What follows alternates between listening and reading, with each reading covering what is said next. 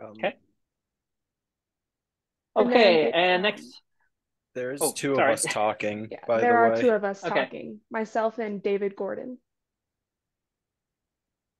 Not sure. Let me try something. One moment. And I would suggest to pin David because he is the one with the presentation. Let me try pinning you both and see how it goes. Go ahead, Matthew, introduce them with their title and then we Okay. go. all right, this is University of Wyoming, Space Cowboys Eclipse Outreach in Wyoming and beyond. So with that, um, we'll turn it over to you guys. All right. Can you see the slideshow? Yep. All right. Wonderful. Uh, hello. Thank you for coming to our talk. Uh, my name is David Gordon. I'm from Gillette, Wyoming. I'm a physics and astronomy major and a student lead for our team. And in my free time, I like to ski. And my name is Amelia Myers. I am also an astronomy and physics double major. I'm from Snohomish, Washington. I'm an outreach and telescope lead on our team. And a fun fact about me, I'm a rugby player here at UWyo.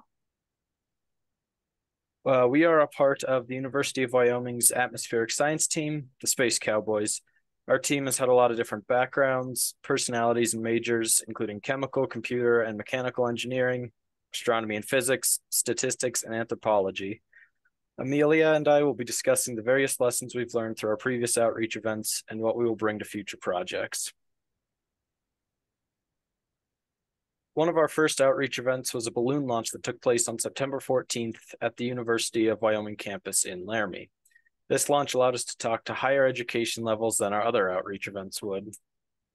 This would prove useful as it let our team talk in far more detail about what we were researching, as most of the people that came up to us had experience in STEM fields, including a couple of atmospheric science majors. This experience would greatly help us understand what we needed what we needed to do for the Eclipse campaign. During the Eclipse campaign, several people came to our launch site to ask about what we were doing. This included people from all age groups, but most notably high school age students took an interest in our work. With high schoolers, we were able to go a little more in depth with what exactly we were studying, along with why and how we were doing it. We also found that high schoolers were only interested in what we were doing if they came up to us. Nobody likes being dragged into lessons or presentations they don't find interesting, and this is especially true for high school age students. Along with high schoolers, the campaign gave us a chance to speak to a younger audience as well. In the days leading up to the eclipse, we spoke to seven middle school classes, which consisted of three eighth grade classes and four sixth grade classes, about what eclipses are, how they work, and other details about them. These classes went extremely well, despite us only having about a day to plan, practice, and prepare for it. Even though they went smoothly, we did learn some very valuable lessons from them. While teaching these classes, we figured out that we don't really need to dumb down any concepts for younger kids. Some concepts may be a little too difficult for certain ages, but for the most part, kids are smarter than we give them credit for. We were able to extensively discuss general relativity to sixth graders in a way that they understood and even asked questions about. This pretty clearly shows that you can talk to kids about almost anything so long as you don't treat them as less. Due to time constraints, we did have to take out a few sections of our presentation for the sixth grade class, which ended up working well for what they were learning in class. Making a modular lesson plan for scenarios like this is also extremely helpful, as we were able to take out certain parts due to time constraints without losing the overall value of the presentation. Our main participation section was a physics problem that calculated the area of totality of the eclipse. For the older students that had more time, we simply gave them the numbers and wrote down the equations they needed on the board. For the younger students with less time, we gave them the radius of the shadow of the moon and let them figure out the area of the shadow by themselves. While this was our main area of participation, it was by no means the only opportunity we gave for interaction. Several students were extremely interested in what we had to say. There was plenty of participation in class without prom- much prompting from us. If participation was dying down, however, we found that having free stuff to give out as an award for asking or answering questions, helping with demonstrations, or otherwise joining in was a great way to increase engagement. The things we used included temporary tattoos, stickers, and patches of the NASA logo, which were given to us by the Wyoming Space Grant Consortium. Other things could be given out as well for prizes for participation. For both grades, we used models for our demonstration. We had a two inch diameter foam ball for the moon and an eight inch diameter foam ball for the Earth. Using this real model allowed us to physically demonstrate the distance between the Earth and the moon, as well as discuss how far away the sun is on this scale. This proved to be exceedingly useful for our presentation since it helped students visualize what we were talking about. Once the Eclipse campaign was wrapped up, we started doing outreach with the local area. With all the knowledge we had gained in Richfield, it was time to see if our findings had held true for other outreach events. In November 2023, David and I got to participate in a balloon launch for, for a robotics team based in Cheyenne, Wyoming.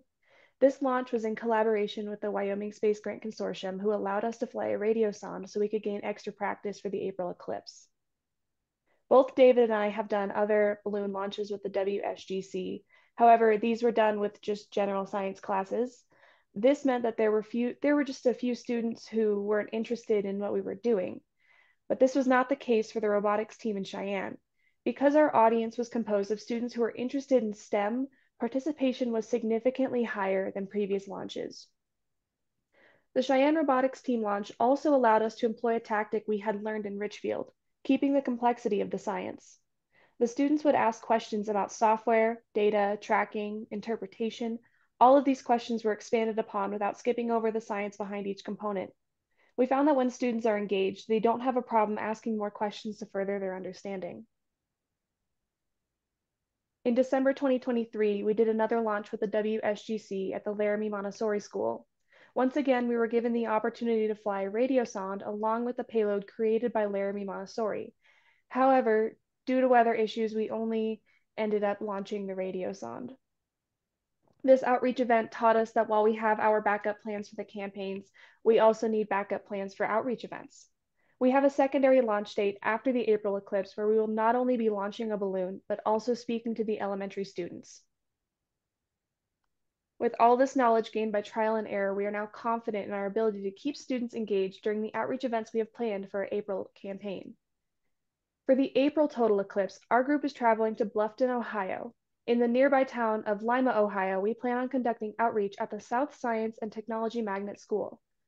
South Science is a K 8 school focused on teaching science and technology. We plan on meeting with grades 5 through 7, as it was learned in Richfield that students who are around this age range are more likely to participate and find our presentation fun rather than boring. We're also targeting the science adjacent schools since we learned at the Cheyenne launch that having a STEM based audience means we're more likely to have student interest. Now, we don't know the prior knowledge that the students hold, which is why we plan to ask teachers ahead of time if they think students will be able to complete the activities we have. If a student thinks the activity is too hard for the majority of the students, we use our backup plan.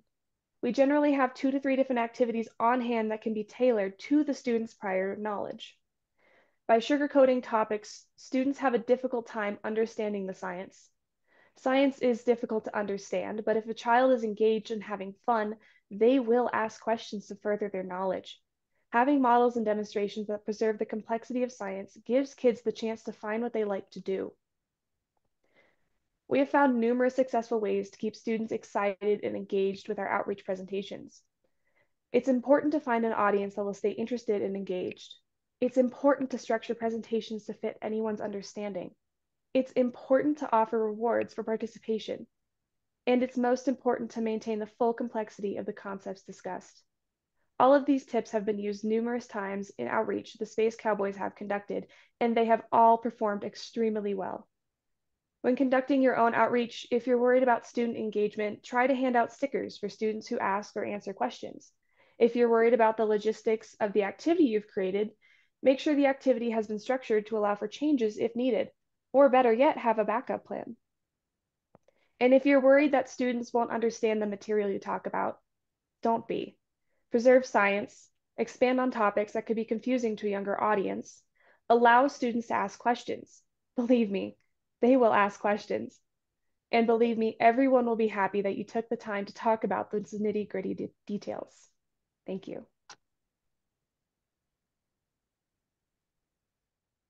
All right, perfect.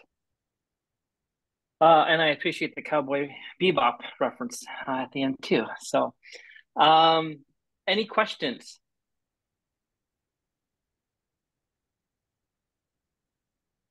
Uh, Angela has a question here. Uh, were you engaged in outreach before joining NEBP? I was personally not. Uh, no, this is mostly um, through the Wyoming Space Grant. Um, we are lucky enough that the Wyoming Space Grant has invited our NEBP team to do outreach with them. So that's where a lot of that came from. Okay. And uh, there's a comment here from Rachel. Uh, love the idea of allowing students to show what they know. Don't underestimate students, especially young students, ability and fondness for learning the fancy words. Uh, any other questions or comments that people have?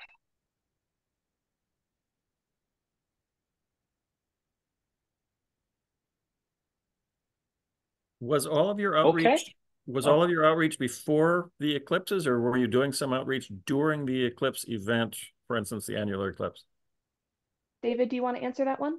Yeah, yeah. So we did a couple of launches before the eclipse, uh, both for a little bit of practice and a little bit of outreach. But then during the eclipse, we had two teams, like a day crew and a night crew.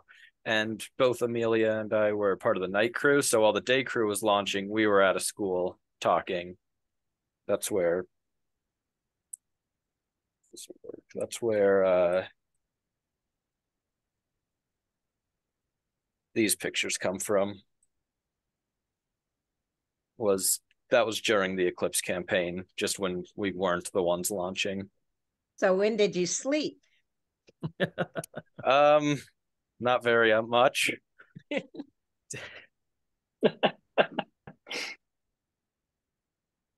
Um, also, uh, Rachel had another comment in there that uh, if you ever want to bounce outreach ideas off of her, uh, this is Rachel from St. Cloud uh, State. Um, uh, she's happy to to help with that as well too. And uh, as a note to everyone, she's even offered to open that up to anyone here on the conference. So, sounds good all Thank right, you. any any other questions or comments? All right. Uh, if not, yeah, great job. Uh, thank you so much for your presentation and um, thank you. Okay, and that